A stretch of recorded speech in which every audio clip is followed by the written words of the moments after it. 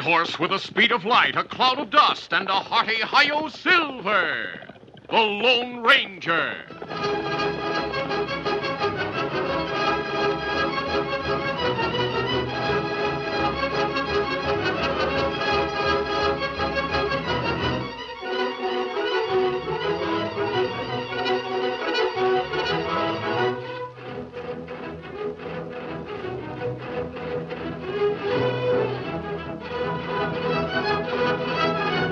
With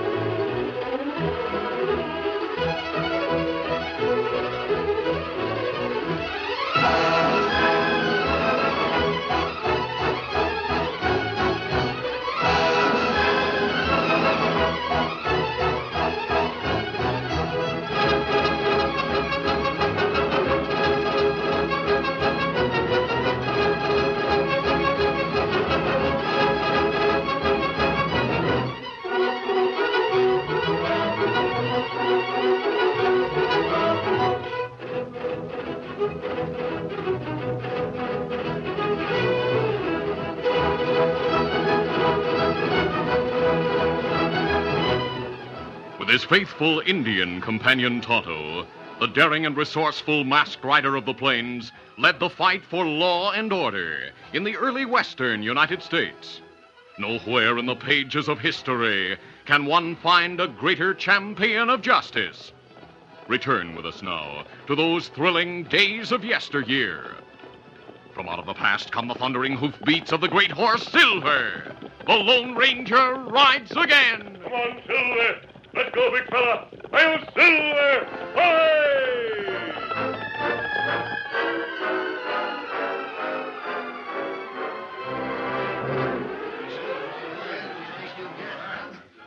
Judge Benwood's courtroom in San Antonio was packed with spectators who had attended the trial of a notorious outlaw leader, Juan Montez.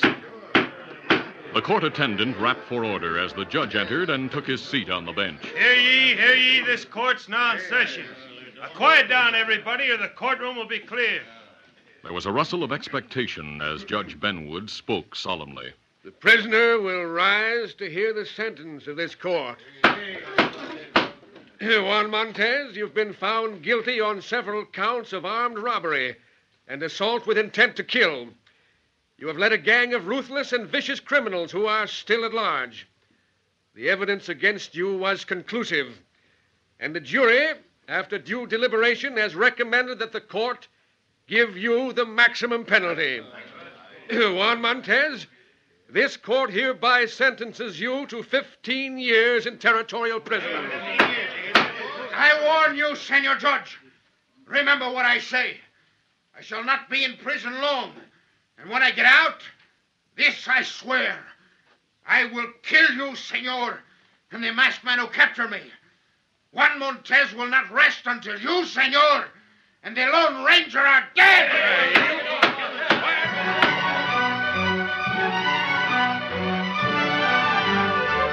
Late one afternoon, two months later, excitement broke out suddenly in territorial prison near San Antonio, Texas. Gordon, there's been a jailbreak. What? Juan Montez jumped a guard and got a gun. The other prisoners rioted and one escaped. Send men out to trail him. He mustn't get away. Yes, sir.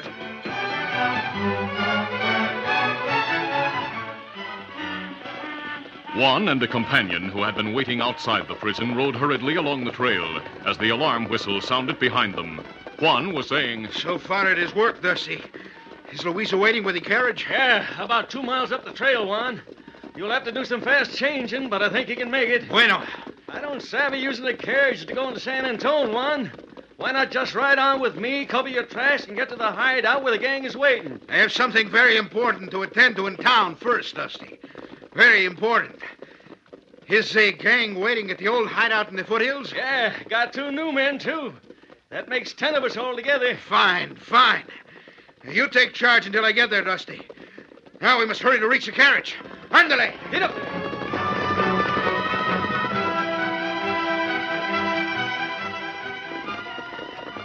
Within a short time, the two men stopped beside a black carriage waiting on the trail. Steady there. Juan, I am so glad to see you. Uh, It's good no one knows Louisa the dancer is my sister. You've planned well. We, but time is short, Juan. Yeah. I shall wait here while you get into the carriage and change into the woman's clothes I have brought with me. The driver. He is to be trusted. Old Pedro is well paid. He sees nothing, hears nothing. Do not worry, but hurry, Juan. See?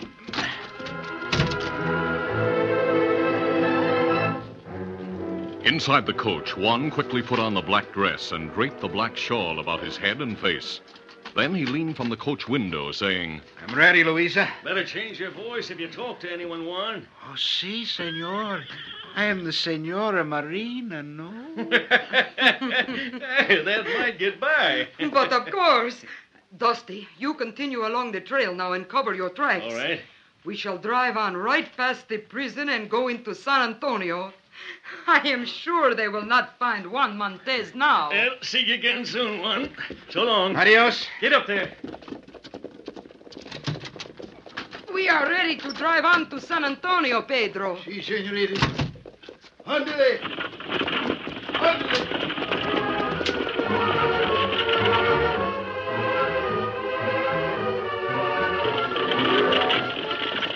Short distance from the prison, the carriage was stopped by three mounted guards. Stop that carriage, driver. Evening, ma'am. Buenos dias, senor. What is the trouble? A dangerous prisoner escaped from the prison. Oh, He was seen riding up the trail with another hombre. Easy, boy. Mind if I look inside your carriage? not at all, senor. I am sure my traveling companion, Senora Marina, is not the dangerous prisoner you are hunting. Oh, I reckon not, ma'am. Did you see a couple of riders back along the trail? Seems like you should have passed them. Oh, see, now I remember. There were two of them. They were riding so hard, we drew to one side and stopped to let them pass. Is it not so, senora? Si, senorita. Keep the shawl closer about you, senora. You are catching a cold. I hope we have helped you, senor. Oh, yeah. Yeah, thanks. We'll get right after them. One moment, senor. Oh, yes, sir? I am Luisa, the dancer. I shall be at the Opera House in San Antonio. I do hope you and your friends will find the time to come to see my performance tonight or tomorrow night. Oh, sure, senorita. I've uh, seen posters telling about you. Uh, well, uh, we gotta be going now. Goodbye. Adios, senor. Easy, steady, boy. Hey, let's go, man. Get up. Get up. Get up. Very good one. You have fooled them. Now we shall drive into town and take rooms at the hotel. Drive on, Pedro. Andale.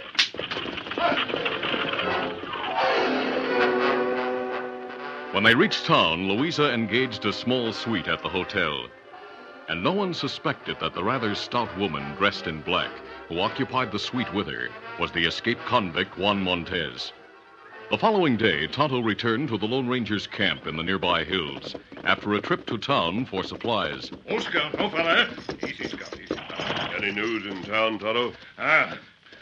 Big outlaw leader Juan Montez escaped from prison yesterday. Him not get caught. Oh, that is news. Them say him right way with other fella. Guards follow, but them lose trail.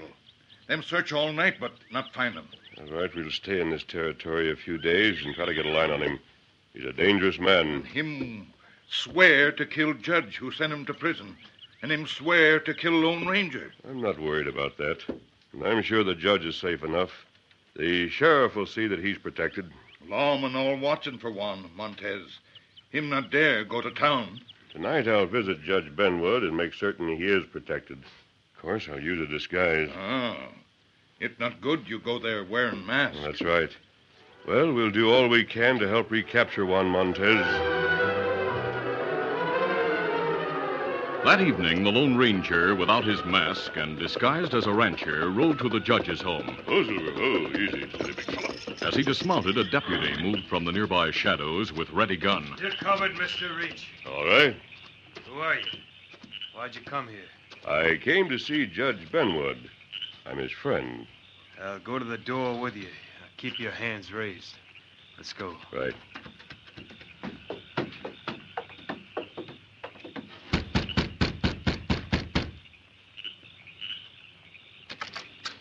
Judge, this hombre says he's a friend of yours. Good evening, Judge.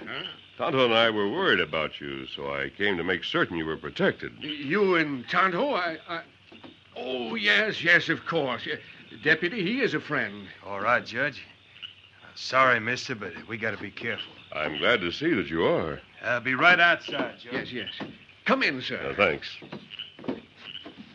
That voice was very familiar, and the, the moment you mentioned Tonto, I knew who you were. I disguised my features and came without my mask because it would have caused suspicion. Of course. I've heard about Juan Montez's escape. The sheriff immediately sent a deputy to stand guard, but I didn't think it was necessary. But Montez is a dangerous man, Judge. It's best to take precautions. Uh, He threatened your life, too. I know, but you're more vulnerable than I. You must watch your movements closely for a few days. I was to leave town tomorrow afternoon by stagecoach for New Braunfels. Well, that would be risky. Perhaps, but it's necessary that I be there to try a case. Then we'll try to make other arrangements for your trip. Juan Montez may have a spy in town, and we'll have to be careful. Mm, That's true. Now, if you'll give me a note to the sheriff, Judge, I'll go to his office and discuss arrangements with him. Very well. I'll be glad to, sir. I'll write a note at once. Then you can let me know what you and the sheriff decide. Later, the Lone Ranger entered the sheriff's office and presented the note of introduction.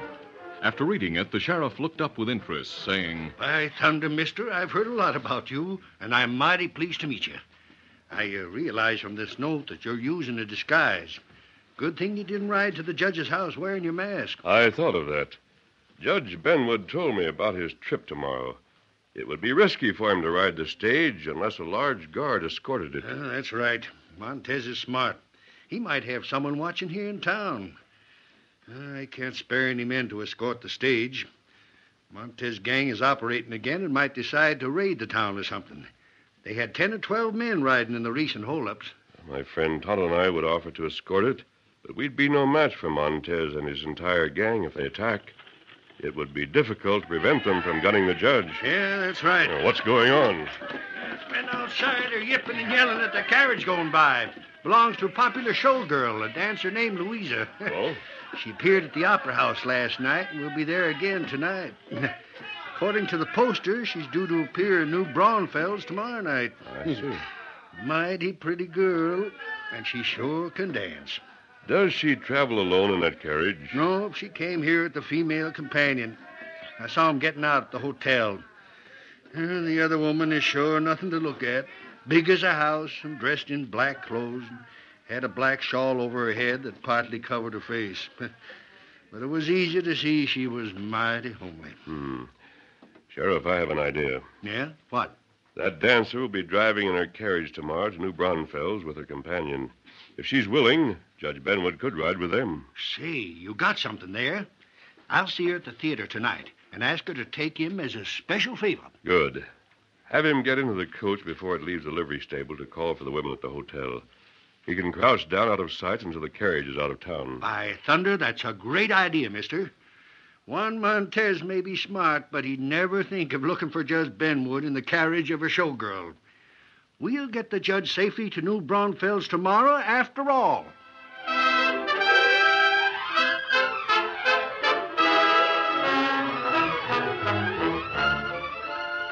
The curtain falls on the first act of our Lone Ranger adventure.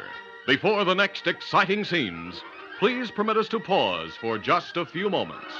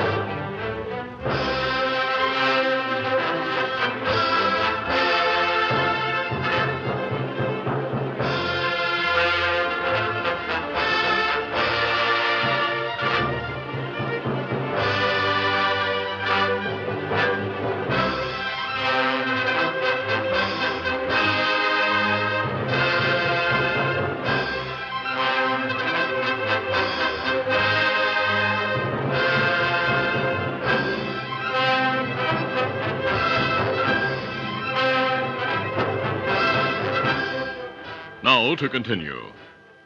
Not knowing that the man who threatened Judge Benwood's life would be riding in the same carriage, the Lone Ranger suggested that the sheriff arrange for the judge to go to New Braunfels with the dancer Louisa. The sheriff missed Louisa at the theater. Later, she and Juan sat in the parlor of the hotel suite when someone knocked at the door. Wait until I go into the other room, then see who it is. I'll be listening at the door. All right, Juan, but hurry.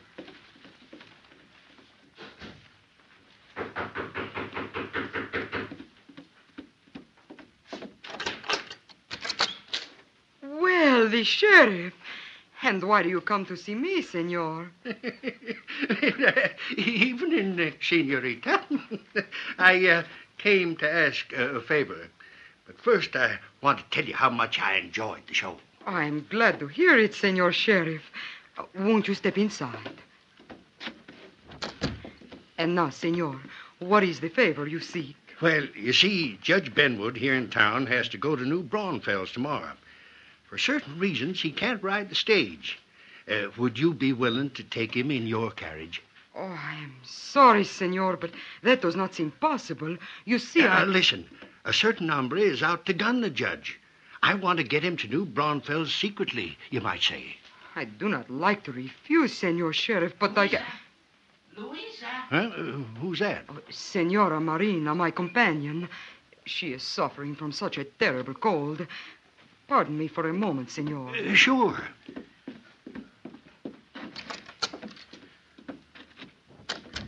It is the sheriff. I heard him. Tell him you'll take the judge. But, Juan, the judge may find out you are not a woman. I'll risk it. I have my reasons. You'll sit between us, and he doesn't have to hear me talk. Now go tell the sheriff you'll be glad to take the judge. Very well, Juan. Whatever you say. Is she all right? Si, senor. But her voice, it has become so husky. Uh, now about the judge. Well, if you can't take him, you can't, that's all. But I figured there were only two of you in the carriage, and. uh, Very well, senor sheriff. How can I refuse one who is so persuasive? uh, then you'll take him with you? See, I am sure it will be all right. Well, thanks a lot. He'll get in at the livery stable and stay out of sight until you're out of town. I know the judge will appreciate it a lot. I'll go and tell him. Uh, thanks again. Good night. Good night, senor. The following morning, Judge Benwood sat well back in the carriage when it stopped to pick up Louisa and her companion so that he was unnoticed by others. A short time later, the Lone Ranger and Tonto watched from a cottonwood grove as the carriage left town on the trail to New Braunfels. There go carriage now, Kemo Sabe. Yes, we'll keep out of sight and follow it. Make sure it arrives in New Braunfels safely. Let's go. Easy, Scout, easy, fella. Come on, Silver. Get him up, Scout.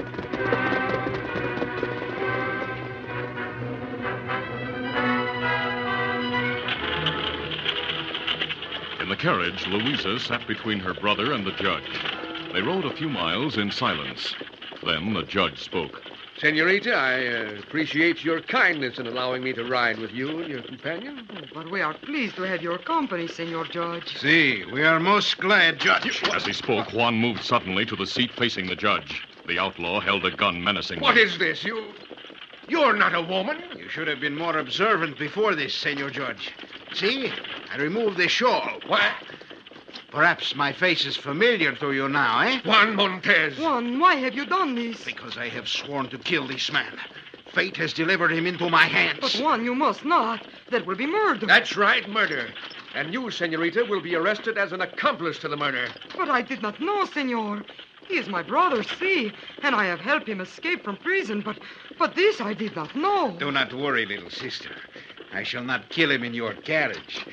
Tell the driver to turn at the next branch trail to the left. You will leave us at the gang's hideout, then you go on to New Braunfels.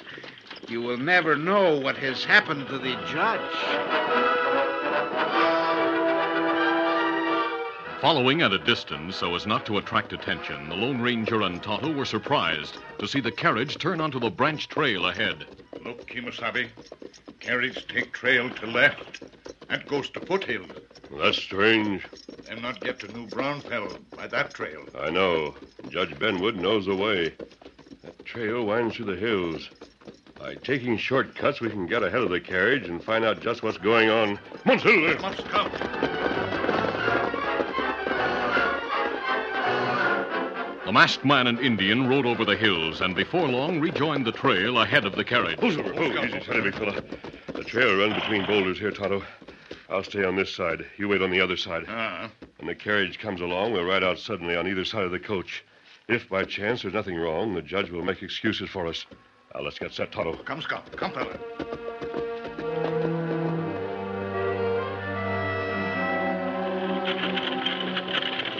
A short time later, the carriage came into view. The old Mexican driver didn't see the two horsemen until they suddenly rode from behind boulders on either side of the trail and swung in beside the carriage. Juan sighted the masked man. Caramba, masked man. Hold it. Ah, There! Now I have the gun. You stop carrying. Oh, oh, Oh, Silver, oh, easy, steady, big fella. oh. Easy, Scout. Easy, fella. Thank heaven you came along. This is Juan Montez. I have him covered. So I see. Disguised as the female companion of the dancer Louisa. He is my brother, but I did not know he would do this. The girl helped him in his escape from prison, but I'm sure she didn't realize he meant to kill me. Of course, she'll be arrested for what she's done. Where were they taking you, Judge? To the gang's hideout. This trail leads to it. In that case, we'll go back to town. Put Juan, his sister, and the driver behind bars. Then get the sheriff and a posse to ride out to the hideout and capture that gang. Fine, fine. With Juan recaptured, there's no risk for me to take the stage for New Braunfels.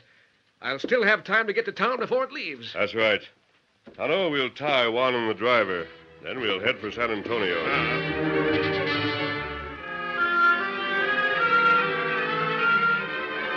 Later in town, Juan, Louisa, and the driver were put behind bars. Then a posse was formed, and with the sheriff, Tonto, and the Lone Ranger leading the way, started for the outlaw gang's hideout. After going some distance along the branch trail, Tonto called attention to a thin, barely discernible column of smoke rising from a hollow beyond the next hill. The sheriff called a halt. Silver. Go there. That faint column of smoke indicates the hideout shack like the Indian thinks. We better move careful. They're bound to have a guard watching the trail near the hideout. You're right, Sheriff. Sheriff, I suggest Tonto go ahead on foot to do some scouting. Not good idea. Maybe me find guard, knock 'em out. Be fine if you can, Tonto. Ah, me go. And if way clear, me give signal. Easy, Scout. Easy, fella. Adios. Adios, Tonto. Let's dismount, Sheriff. Easy, steady, big fella.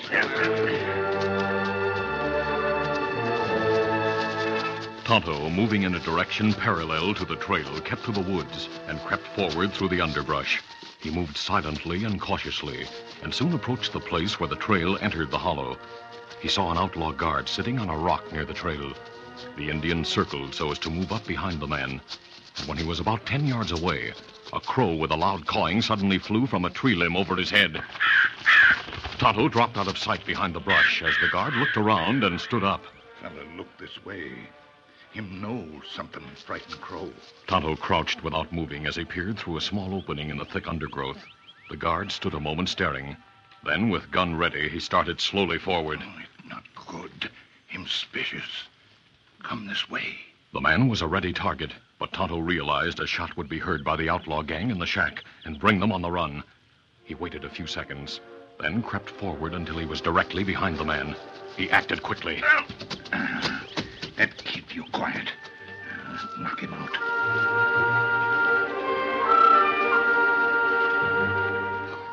Back among the trees, the sheriff and posse were becoming impatient. Mister, seems like the Indians should have found out by this time if there's a guard near the hideout. Maybe the outlaw spotted him and took him prisoner. I doubt that, Sheriff. Tonto would have fired his gun to let us know he's in trouble. Well, maybe so, but if they grabbed him before.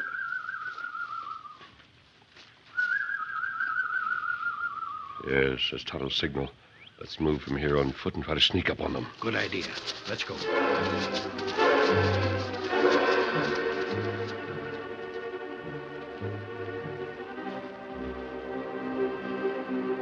Inside the hideout shack, the outlaw Dusty was speaking to his pals. Juan hoped to gun Judge Benwood in town, then come here to join us. I figured he might get the chance the first night, but I reckon he couldn't. I looked at he sure looked funny dressed up like a female. but he'd get by all right as long as he don't do much talking. I reckon he. Hey, I thought I saw someone moving in the brush just outside the window. Oh, hey, Drop hey. your guns and reach, all of you. Hey, the sheriff! I'll get. Oh! Oh, a masked man shot through the window. back at My men are at all the windows. If you don't want to get drilled, drop your guns and reach like I said. Juan Montez is already in jail. Hey, they got one. We don't have a chance. Better drop our guns. Some of you men keep them covered.